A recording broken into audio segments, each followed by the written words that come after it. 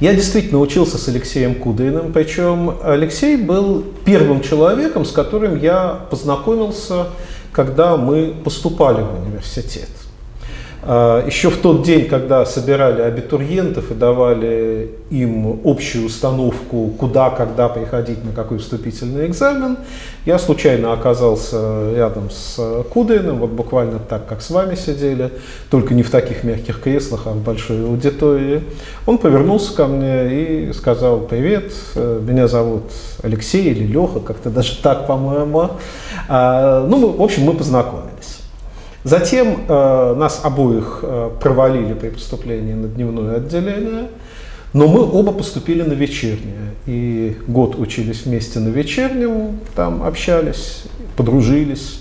Потом перешли на дневное, я годом раньше, он годом позже, и дальше э, общались довольно много, вместе ездили в стройотряд, ну и до сих пор общаемся, хотя, конечно, уже давно живем в разных городах, и сейчас это бывает не так часто, как хотелось бы.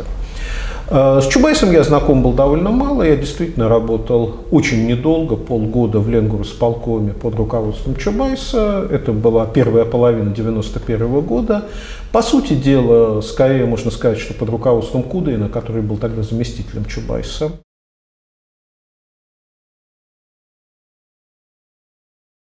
Ну, а потом я понял точно, что я не чиновник. Это абсолютно не по мне. А политиком я себя вообще никогда не представлял. Я не занимаюсь политической деятельностью, и та политическая аналитика, которую я произвожу для интернет-изданий, для газет, для книг, это именно аналитика, а не политика. Я анализирую проблему и представляю читателю анализ, что происходит, почему это произошло, что можно ожидать. Я не пытаюсь занимать ту или иную позицию. Некоторые мои коллеги, политические аналитики, четко занимают партийную позицию и говорят, поддерживайте такую-то партию, потому что она лучше всех, пункт первый, второй, третий, четвертый. Я так никогда не пишу, я пытаюсь работать в интересах читателя, который хочет разобраться. Хотя, конечно, у меня есть личные политические взгляды, и когда у нас еще были нормальные выборы, я четко знал, за кого следует голосовать. А, я бесспорно и э, университетский профессор, и журналист-публицист. Вот эти два качества у меня переплетены. Трудно сказать, э, кем я себя больше чувствую. Долгие годы основной работой у меня была журналистика. Я был сначала экономическим обозревателем, потом политическим, потом замом главного редактора небольшой петербургской газеты «Еженедельника». Но одновременно я преподавал в разных университетах. Сейчас я уже 10 лет работаю в Европейском университете в Санкт-Петербурге. Я научный руководитель исследовательского центра, но одновременно постоянно пишу в разные издания. Так что здесь все переплетено.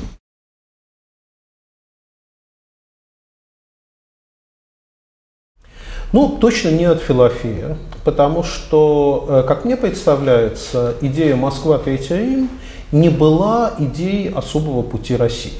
Здесь иногда э, люди путают.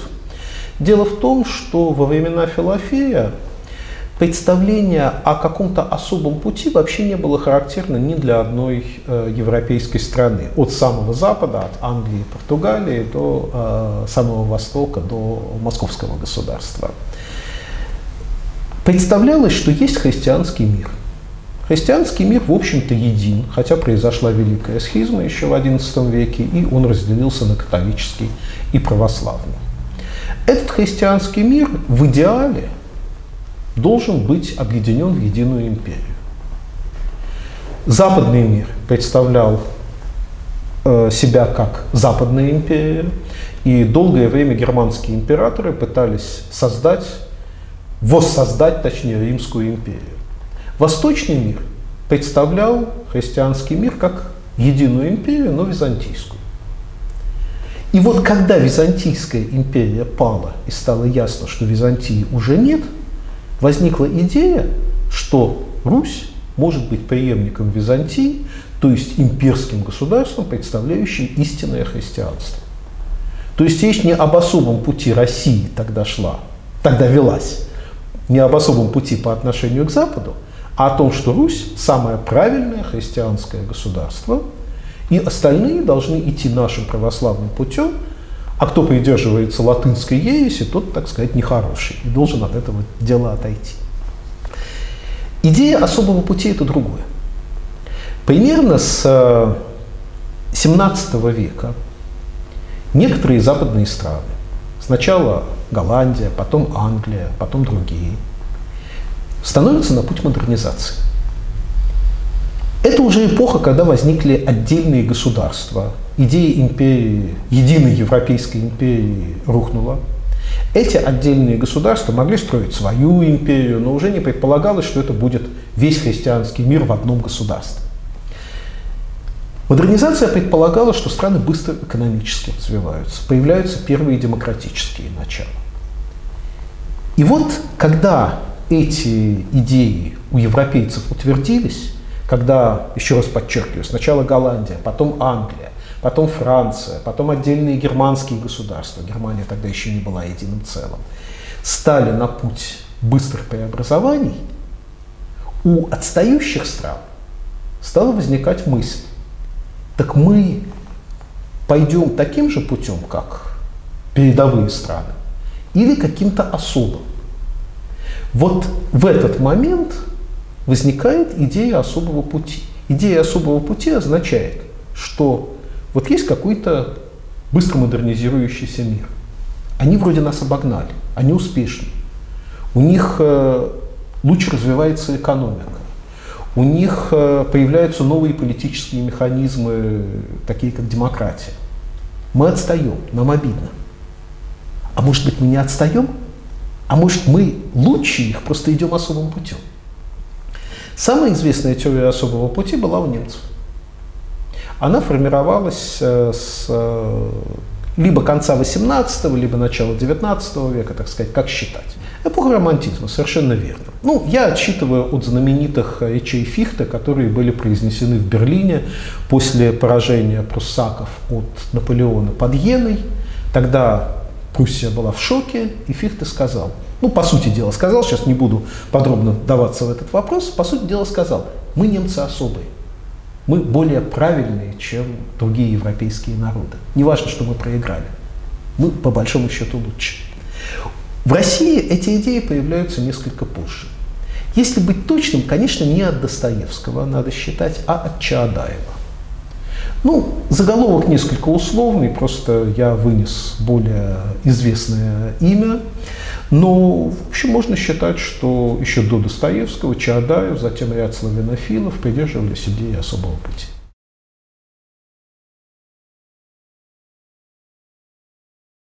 Романтизм был не только немецким. А, немецкий романтизм может быть наиболее известный, но романтическая эпоха охватывала самые разные страны, начиная от Англии. Ну, Байрон был бесспорно романтиком. И, и заканчивая нашей страной. А, эпоха романтизма действительно связана с тем, что интеллектуалы пытались осознать, кто мы, как нам развиваться – и предлагали разного рода идеи, в том числе идея особого пути. Идея, идеи славянофилов в какой-то степени отталкивались от немецких идей, э, но скорее не потому, что славянофилы э, тупо копировали, они были самостоятельными творцами. Просто у немцев и у русских были похожие проблемы. Это были два народа, отставших от более западных народов, и решавших для себя проблему. Вот мы отстали по-настоящему, или мы совершенно особые и можем быть впереди других просто по иным параметрам. Идея немецкого особого пути Зондервек, она даже более тщательно проработана, чем идея российского особого пути. Наверное, среди немцев было больше авторов, которые работали в этом направлении. И эта идея, кстати, очень долго держалась у немцев. Конечно, у каждой страны есть определенные особенности в развитии. Не особый путь, а некоторая специфика. И есть отличие в понимании особого пути у немцев и у русских. Я уже сказал несколько минут назад о том, что у немцев идея о необходимости особого пути очень четко сформировалась после поражения от Наполеона, поражения под Еной. У русских немножко по-другому получилось. Мы вроде у Наполеона войну выиграли. И в этом смысле Россия после 12 ну или может после 14-15 годов, 1800, естественно, чувствовала себя очень уверенно. Она была, ну, по сути, самой сильной европейской державой и чувствовала себя таковой вплоть до Крымской войны. С э, такой государственнической точки зрения у нас э, не было чувства униженности, фрустрации. Но если немецкие государства под воздействием э, Наполеона, Гражданского кодекса, идей, идущих от французской революции, довольно быстро развивались уже в первой трети XIX века, там произошли серьезные экономические реформы. Там была, было отменено крепостное право, произошла земельная реформа, был создан Германский таможенный союз, который способствовал развитию экономики задолго до того, как Германская империя стала единым государством то у нас в России все получилось по-другому. Мы были победителями, но в экономическом и политическом плане мы стали сильно отставать. И особенно четко это выявилось после поражения восстания декабристов. Вроде лучшие русские интеллектуалы вышли на площадь для того, чтобы как-то заявить о том, что мы должны развиваться несколько иначе, и они были подавлены, расстреляны, сосланы в Сибирь, и после 14 декабря 25 года в России все замерло надолго. В этой ситуации нас, наша фрустрация означала разочарование в возможностях внутреннего развития страны. И у Чаадаева это очень четко видно. Чаадаев очень страдал из-за того, что ситуация в России была какой-то непонятной. С одной стороны, он говорил о том, что ну, мы какое-то государство, какой-то народ, который, наверное, предназначен только для того, чтобы показать всему миру, как, как нельзя развиваться, как неправильно развиваться. А с другой стороны, у него вдруг возникает идея о том, что, может быть, мы покажем всему человечеству какую-то великую идею, а, покажем всему человечеству, как, э, как надо спастись, как надо развиваться – и дальше уже, собственно, славянофильское течение, идущее от Хомякова, от Киреевского, от братьев Аксаковых, от Самарина, уже тщательно прорабатывает вот эти вот идеи, которые у Чаадаева были набросаны в философических письмах как-то вот в общих чертах. Так что вот это славянофильское течение идет от фрустрации, связанной с невозможностью нормального внутреннего развития. Славянофилы в каком-то смысле тоже были западниками. У нас вот это разделение такое чуть ли не манихейское на западников и славянофилов часто очень упрощает реальную картину. А, просто нынешние западники любят иногда ругать славянофилов, считать, что они были тупыми консерваторами, а нынешние патриоты любят ругать западников, считая, что они иностранные агенты, враги народа и так далее. И Герцен там подрывал Россию. Нет, в общем, и западники, и славянофилы того раннего времени придерживались э, представления о том, что Россия должна развиваться, что нельзя остановить развитие страны. Но как конкретно развиваться, здесь были разные представления. Допустим, самый яркий, на мой взгляд, э, и самый образованный, на мой взгляд, западник, профессор Московского университета, историк Тимофей Грановский – прямо говорил о великом развитии западных стран и о том, что мы должны быть э, благодарны за то, что Запад показывает нам такого рода путь развития. И многие студенты его носили на руках, воспринимая эти идеи. А славянофилы говорили о том, что Запад там, по разным причинам развивался неправильно, но у разных славянофилов были разные объяснения, что неправильно у Запада и что правильно у нас – и во внутренней истории, в нашей российской истории, Хомяков, Киреевский, Киреевские, там, братья были, они искали возможности собственного развития, но именно развития. Они не говорили, что все хорошо при царском режиме, и никакого развития не должно осуществляться. Они искали возможности развития тоже. Я считаю, что идея особого пути – это следствие фрустрации, которая у интеллектуалов той или иной страны связана с трудностями развития. Мы не можем по разным причинам нормально развиваться. У немцев одни причины, у русских другие, там, у поляков третьи и так далее. И отсюда возникает мысль у интеллектуалов о том, что а может быть э, мы на самом деле великие, и мы нормально развиваемся просто своим особым путем. Вот идея особого пути ложна и связана именно с этим. Но и в книге об этом есть специальный раздел. Я знаю, что очень часто возникает полемика именно на этой почве. Но то, что я считаю идею особого пути неверной, не означает, будто я полагаю, что все страны развиваются совершенно одинаково. Нет. У каждой страны есть ходе своего развития, в ходе модернизации своя специфика. История ни одной страны не повторяет историю другой страны.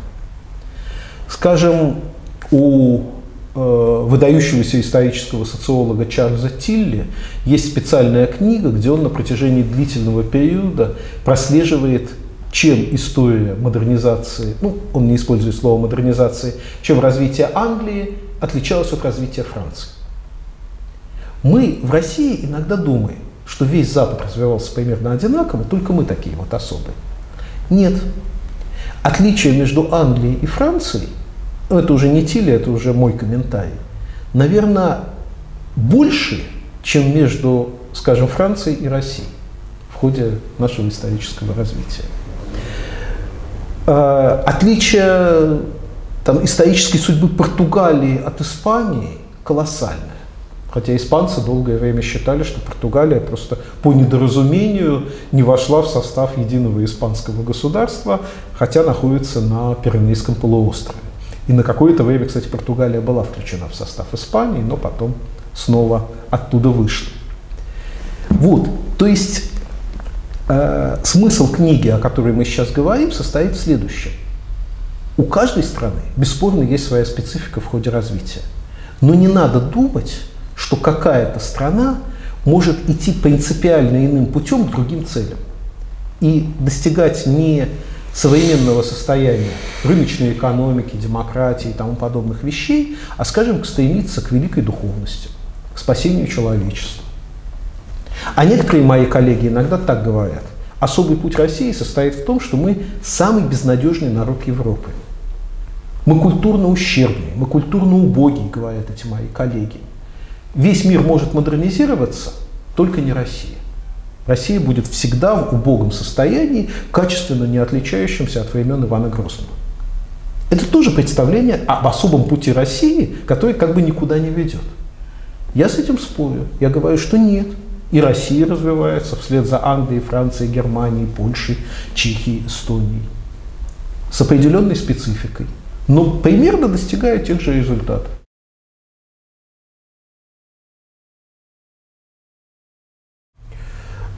Мне чаще приходится слышать прямо противоположные трактовки.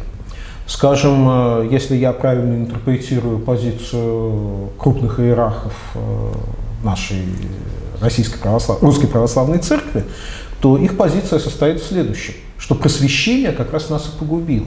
Мы настолько просветились, что дошли до революции, до идей, разрушительных идей свободы, равенства, братства и так далее, и так далее. А, я, честно говоря, не вижу катастрофы ни в ту, ни в другую сторону. А, почему идеи просвещения получили в России крах? Потерпели в России крах? Нет. Идеи просвещения, зародившиеся во Франции, сначала создали возможности для развития Франции, но одновременно довели Францию до очень Э, сложных э, выкрутасов развития. Скажем, Великая Французская революция была не менее трагическим и кровопролитным явлением, чем русская революция, произошедшая через сто с лишним лет после французской.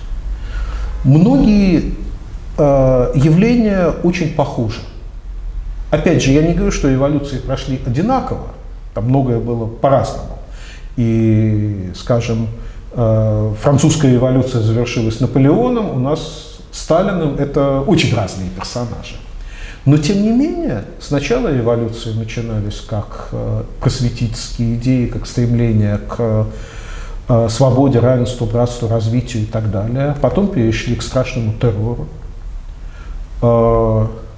Страшная коррупция была как в ходе французской революции при режиме директории, так и в ходе нашей революции. Очень многое похоже.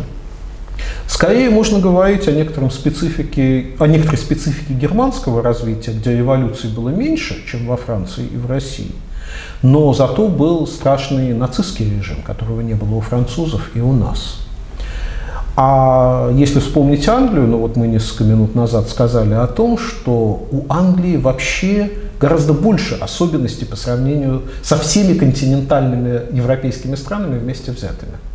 Франция, Германия, Россия, Австро-Венгрия, Испания все больше похожи друг на друга, чем на англичан с их очень специфическим развитием. Я действительно хочу немножко читателей моей книги успокоить, но не в том смысле, что я предлагаю им какой-то сон золотой, который от, отвергает их от э, действия.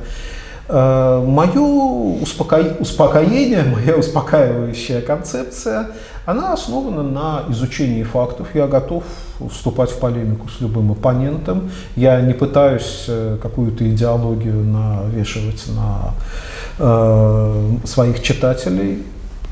Каждый читатель может сам судить, прочесть мою книгу. В книге есть список литературы, представляющий всех моих оппонентов. Можно прочесть их э, концепции. И читатель сам сделает вывод, кто прав, я или мои оппоненты. Это нормальный научный подход, по-моему, так и надо всегда поступать.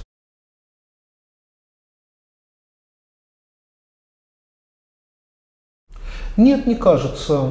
А, Самый яркий пример сравнительный – это история Франции, но история Франции в XIX веке, поскольку Россия – страна догоняющей модернизации, и некоторые явления, которые Франция проходила давно, мы проходим с большим опозданием. История двух Наполеонов, первого и третьего. Первый Наполеон создал после революции во Франции огромную империю, которая в итоге потерпела крах. Ну, эта история всем известна, пересказывать не надо – Через некоторое время после Наполеона I, с промежутком в две монархии, сначала была реставрация Бурбонов, потом июльская монархия во главе с королем Луи Филиппом. Вот после этого перерыва вдруг племянник великого Наполеона восстановил империю, восстановил на авторитарных началах, которые, мне кажется, очень напоминают то, что сделал Путин. Путин тоже после некоторого перерыва восстановил некую великую империю, условно великую советскую империю, и стал использовать терминологию своих советских предшественников, но для совершенно другой цели.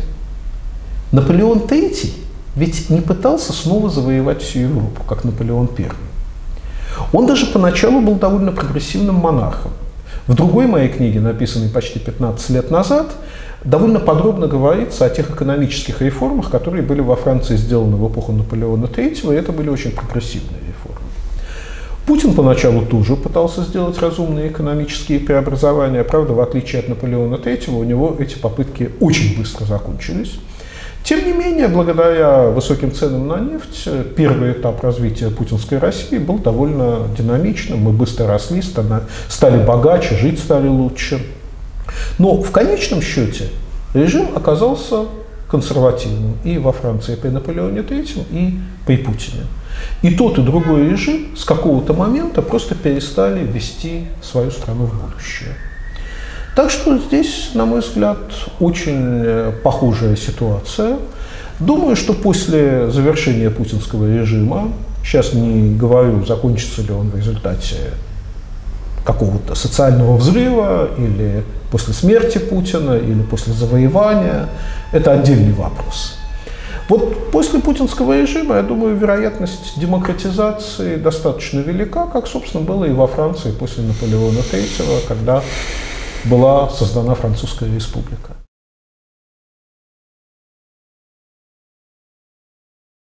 Здесь тоже, на мой взгляд, э, много общего и мы тоже отстаем от этих стран. Еще раз подчеркиваю, Россия страна догоняющая модернизации. Не надо думать, что мы будем идти параллельно с другими странами. Та же Польша отставала от Германии или от Франции, мы отстаем еще и от Польши. А в 1989 году, в год бархатных революций, сразу много восточных центральные и восточноевропейских государств, там Польша, Чехословакия, потом распавшаяся на Чехию, Словакию, наши Балтийские республики, двинулись по европейскому пути. Двинулись бесспорно лучше, чем Россия. Но они смогли двинуться по такому пути, потому что в их истории был ряд моментов, которые, которые позволяли им лучше ощутить себя европейцами, чем э, ощущали тогда вот мы в России. Кстати, не только в России, но в Украине, в Белоруссии, не говоря уже о среднеазиатских э, республиках бывшего Советского Союза, люди не очень ощущали себя европейцами. У украинцев это произошло гораздо позже. Да и то пока очень условно. Вот, значит, поляки, чехи, словенцы, венгры, эстонцы, литовцы – ощутили себя европейцами, привели более эффективно, чем мы, необходимые реформы, как экономические, так и политические, вошли в Евросоюз. В России те силы, которые не хотели европейского пути, оказались более мощными, чем в этих странах. Я думаю, что на следующем историческом повороте мы сможем сделать примерно то же самое, что сделали эти страны. Мы постепенно осознаем тупиковость э, нынешнего пути. Причем э, это осознают в первую очередь российские элиты. Конечно, люди вам откровенно вот так вот, люди из элит вам откровенно так вот в интервью не скажут, что они разочаровались в э, нынешнем пути. Потому что если какой-то бизнесмен это скажет, то он быстро потеряет свой бизнес, а если какой-то политик это скажет, то его может постичь судьба Немцова или хотя бы Касьянова. Но очень многие так думают на самом деле. Поэтому мне представляется, что после Путина возникнет ситуация в чем-то похожая на ситуацию после Брежнева. Ну, Брежнева, Андропова, Черненко. Когда практически все представители элиты хотят чего-то нового. Другое дело, что у них могут быть разные взгляды. Ну, кстати, в той же Польше, в той же Венгрии тоже ведь очень разные взгляды на развитие. И Польша с Венгрией сейчас проходит некоторый откат, авторитарный откат по сравнению с периодом быстрой демократизации. Но это не означает, что эти страны вылетят из Евросоюза, перестанут развиваться по западному пути и снова там, окажутся под э, э, доминирующим воздействием Москвы. Нет. Такого рода явления вполне нормальны в ходе развития. А ничего фатального нету. Модернизация – это вообще очень сложное явление. Если судить по опыту Англии, Франции, Германии, стран более-менее прошедших по пути модернизации, она, модернизация занимает 150-200 лет, может быть даже больше в общей сложности.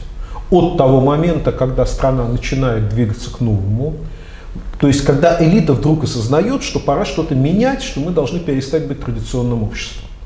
Ну и до момента, когда в основном перемены завершены. Если говорить о России, то у нас модернизация, по сути, началась с великих реформ Александра II. Не с Петра, о Петре можно, если надо, поговорить особо, но это немножко другое. Это, это предмодернизация, протомодернизация.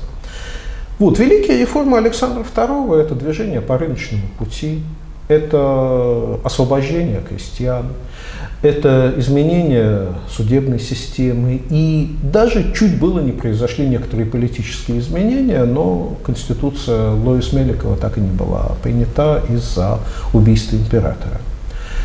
Вот если отсчитывать от начала царствования Александра II, то мы где-то уже больше полутора ста лет по пути модернизации движемся – причем движемся, как и все другие страны, непоследовательно. То вперед, то в бок, то влево, то вправо, то назад, то снова вперед. Ну вот, мне кажется, вполне вероятно, что после Путина мы уже выйдем на некую завершающую стадию, которая будет похожа на то, что сегодня происходит у поляков, эстонцев или венгров.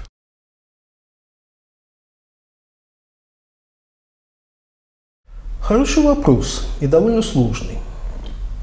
А я как э, независимый политический аналитик, как э, научный работник, не сторонник создания мифологии. И в своих книгах я этим не занимаюсь. Ни в книгах, ни в статьях. Но если бы я был э, лидером какой-то либеральной политической партии, сегодня в России таких практически нету, весь либерализм на политическом уровне разрушен, но если у нас возникнут условия для восстановления такого рода партии, то, наверное, на месте лидера этой партии я бы пытался создать какую-то мифологию, которая не просто рационально объясняет людям, чем хорош либерализм, а как-то обращается к сердцам, к душам людей. А, ну, для сравнения скажу, что известная, очень популярная американская писательница, российского, кстати, происхождения, Айн Рэнд, написала романы, где сформировала такую, ну, можно сказать, либеральную мифологию. И эти романы пользуются огромным успехом. Я лично не поклонник творчества Айн Рэнд как э, писателя. Мне не очень интересен был роман «Атлант расправил плечи», который я прочел. Я сторонник э, другой художественной литературы, причем э, мне, как писателю, нравятся многие авторы, которые, скажем, идейно мне совершенно не близки. Идейно мне не близок Лев Толстой, но как писателя я его очень люблю. А с Айн Рэнд наоборот, идейно она мне близка, как писатель она не близка. Ну вот Айн Рэнд попыталась создать некую либеральную мифологию и довольно успешно. Возможно, что-то в этом роде будущие российские лидеры либерального движения смогут создать. Когда у нас зарождалось э, либеральное движение в конце 80-х, начале 90-х годов, наверное, большинство либералов все-таки придерживались представлений о необходимости чисто рационального общения со своим электоратом, со своими сторонниками. Э, Егор Гайдар – великий политик, великий ученый в области экономической истории, исторической социологии. Но э, я, я много читал Гайдара, читал все его основные научные произведения, очень много статей, очень много интервью. И мне кажется, что Гайдар – Э, либо вообще не понимал, почему нужна мифологизация для политика, либо понимал это, но принципиально это отвергал, не хотел идти по такому пути. Э, мне кажется, что скорее второй вариант, чем первый, потому что Гайдар, бесспорно, был очень умным человеком, нам всем до него очень далеко. И в основном очень честным человеком. Даже в политике, где надо манипулировать своими избирателями, Гайдар предпочитал честный подход и отказывался от манипулирования и проигрывал на этом как политик. Вот и Гайдар, и многие другие отказывались от такого манипулирования, от мифологизации. И сейчас я иногда беседую со своими друзьями, коллегами из либерального лагеря. Мне кажется, что они просто не понимают необходимость мифологизации. Они постоянно говорят с обществом чисто рационально. Давайте мы людям все тщательно, конкретно разъясним, надо делать то-то, то-то, то-то, то-то, и всем нам станет выгодно. Но это часто не срабатывает по двум причинам. Во-первых, потому что значительная часть общества не готова слушать, а если начинает слушать, то устает через полторы минуты, и дальше уже мозги не срабатывают. Это не особенность русских. Нельзя сказать, что русские какие-то тупые. Это точно так же будет у немцев или у французов или у поляков. А, вот это первая проблема. Вторая проблема связано с тем, что не бывает так, что всем стало лучше сразу в результате либеральных реформ. Самые лучшие либеральные реформы приводят к тому, что какие-то группы выигрывают, какие-то поначалу проигрывают, какие-то остаются где-то посередине. И если проигрывавших на первом этапе очень много, то эти люди не готовы воспринимать такой аргумент, что вот, ребята, вы потерпите, а вашим детям зато станет хорошо. И получается, что эти люди отторгают либеральные реформы в принципе. Мне кажется, что единственный либеральный политик э, Центральной и Восточной Европы, который готов был прибегать к некоторой мифологизации, это был Вацлав Клаус в Чехословакии, потом Чехии после разделения государства. И он был самым успешным политиком. Он был и премьер-министром, и президентом, и достиг явно большего, чем любой либеральный политик в других странах.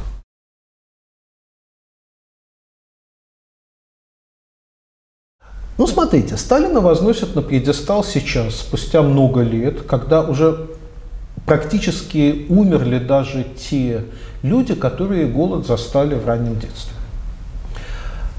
У меня тесть, покойный, он скончался уже несколько лет назад, а, застал голод на Дону. Он сын донского казака. Ему было всего пять лет – но, ну, 5 или 6, но он помнит, как тяжело тогда жилось, как не хватало хлеба, как отец спасал семью только тем, что рыбачил. И у моего тестя было очень четкое, понятное, рациональное отношение. Он не был сталинистом. Но вот сейчас, когда практически все умерли из тех, кто помнит ту эпоху, люди начинают создавать некий миф о Сталине. Этот миф основан на разных э, идеях.